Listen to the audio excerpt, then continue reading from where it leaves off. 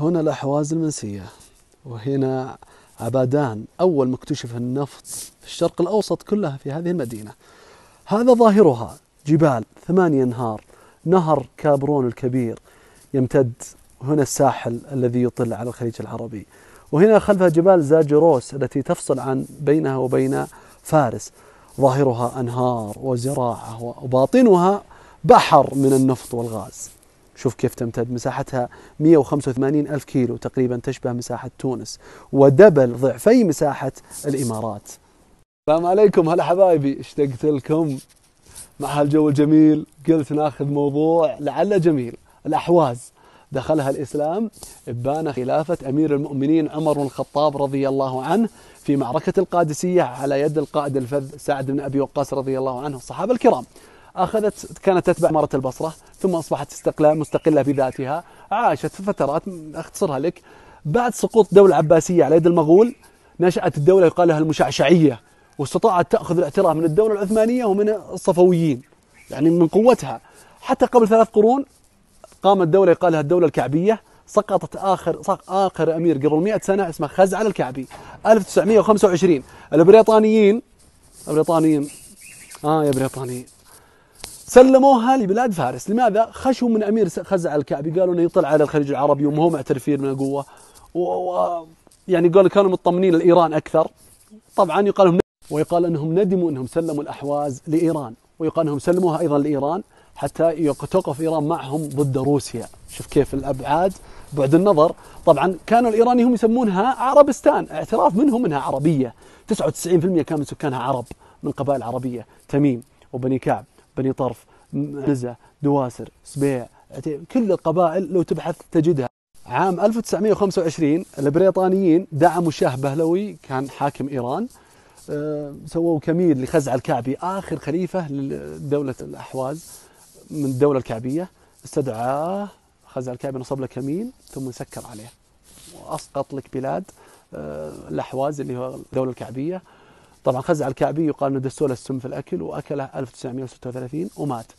طبعا يا حبيبي خيراتهم كلها منها محمد خاتمي الرئيس حقهم يعترف منه يقول إيران باخوزستان زندست يعني شوف صرت تتكلم فارسي يعني معناتها إيران تحيا بخوزستان غيروها من عربستان إلى خوزستان اللي هم إيران. فعلت إيران مرحلة تغريب الآن تعيشها الأحواز العربية الإسلامية.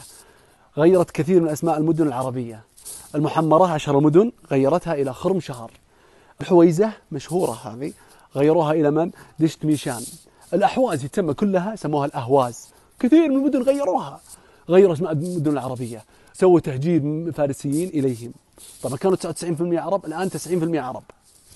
نصف العربية. أيضا منعوا اللغة العربية تماما تنطق بها يعاقبك القانون.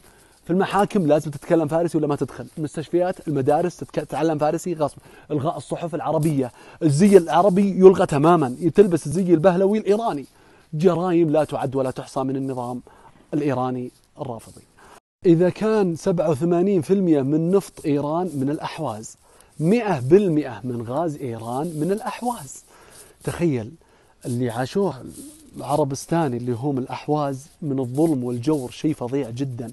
الأنهار الثمانية اللي تمر عندهم بعض الأنهار صرفوها من خلف جبال أراجوس. أراجوس اللي تفصل بين الأحواز وبين فارس عشان ما يستفيد منها الشعب لأنهم يقومون بثورات دائم ضد فارس وإيران تبغى تبغى تذلهم.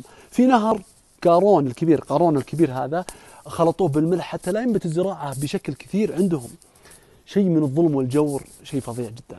مخطئ من يظن أن الشعب الأحوازي سكت قامت تقريبا 23 ثورة. تسع ثورات عظيمة كبيرة جدا.